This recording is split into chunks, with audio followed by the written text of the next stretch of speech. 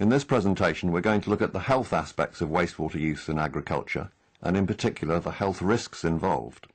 An actual risk to public health occurs when all four of the following conditions are met. Firstly, an infective dose of an excreted pathogen reaches the wastewater irrigated field, or the pathogen multiplies in the field to form an infective dose.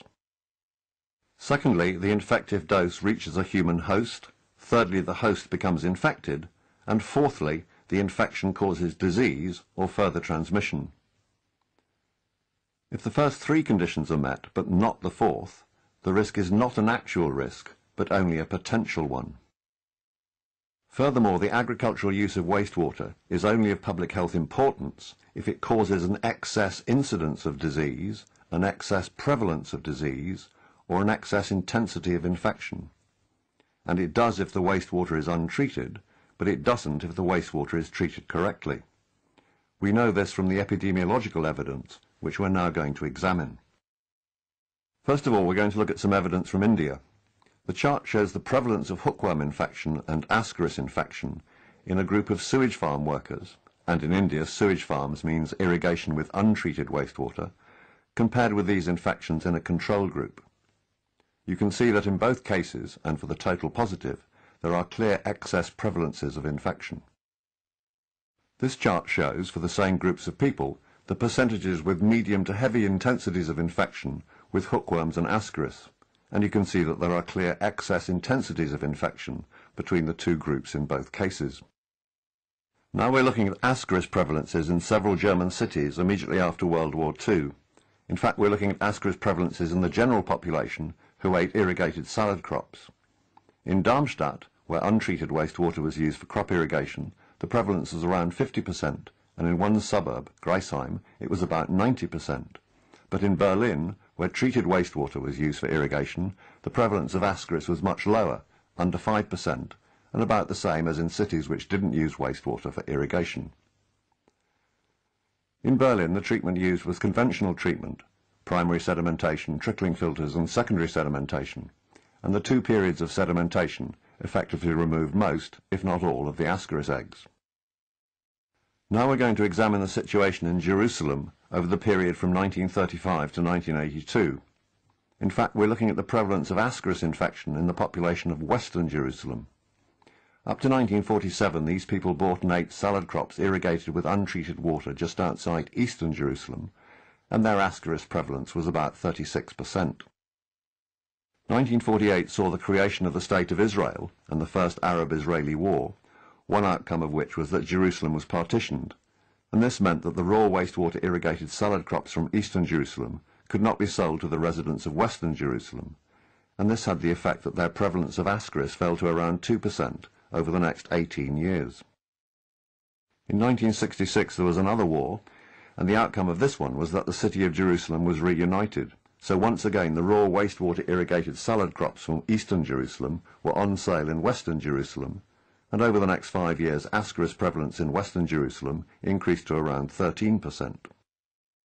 In 1970, the irrigation of salad crops with untreated wastewater was stopped by the city health authority, as it was shown that the epidemic of cholera which occurred in the city that year was due to the consumption of salad crops irrigated with raw wastewater containing Vibrio cholerae, the bacterium that causes cholera. So then during the period 1975 to 1982, ascaris prevalence in the population of western Jerusalem fell again to the low level of 2 to 3 percent. Now some information on how long excreted pathogens survive in soil and on crop surfaces. First, how long they survive in the soil, and these figures are for warm climates, with temperatures in the range 20 to 30 degrees C.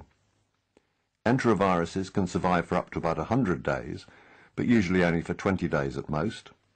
Bacteria, such as E. coli and Salmonella, for up to 70 days, but usually only for 20 days. Vibrio cholerae, on the other hand, survives for up to 20 days, but usually less than 10 days. Protozoan cysts and oocysts are roughly the same as Vibrio cholerae, and helminth eggs, ascaris eggs in fact, can survive for many months, even years. Their survival on crop surfaces is much less, as they are exposed to direct sunlight, and they desiccate as well. The green figures on the chart tell us that enteroviruses usually survive for less than 15 days. bacteria such as E. coli and Salmonella for less than 20 days, but Vibrio cholerae and protozoan cysts and oocysts for generally no more than two days, and Ascaris eggs generally for only up to a month. Now a word about diarrhea, and there's a lot of it about. This table gives the incidence of diarrheal disease in industrialized and developing countries, and in the world as a whole, in the year 2000. Most diarrheal disease occurs in the under fives in both industrialized and developing countries, although the incidence is much higher in developing countries. In the world as a whole, the incidence of diarrheal disease was 0.4 per person per year in the over fives, a little higher in developing countries, and a little lower in industrialized countries. It's important to know the order of magnitude of these incidences of diarrheal disease in the world when we come, in fact in the last of these four presentations, to decide what is the tolerable level of risk of disease from using treated wastewater for crop irrigation, and so determine the degree to which the wastewater should be treated.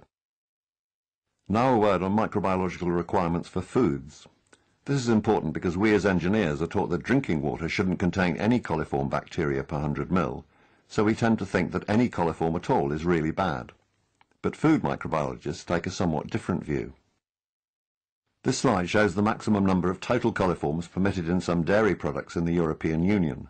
Butter, 1,000 per 100 grams, milk, 100 per 100 ml, and ice cream, 10,000 per 100 grams and soft cheeses, typical French cheeses such as Brie or Camembert, the maximum number of fecal coliforms is 10 to the 7 per 100 grams, and for hard cheese made from raw milk, so typical English cheeses such as cheddar, it's up to 10 to the 7 E. coli per 100 grams.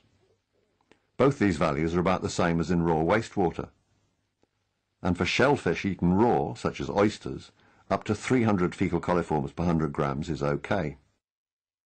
But perhaps even more extraordinary for an engineer, in England, the Public Health Laboratory Service, now part of the Health Protection Agency, published in 1999 guidelines for the microbiological quality of ready-to-eat foods. Any food you buy which is meant to be eaten without being cooked, sandwiches for example. For these to be of acceptable quality, their fecal coliform count has to be below 10,000 per 100 grams. Now lettuce is a common constituent of sandwiches, so this raises the interesting question, should the required microbiological quality of treated wastewater used to irrigate lettuce be any stricter than 10,000 per 100 mil? We will attempt to answer this question in the next two presentations.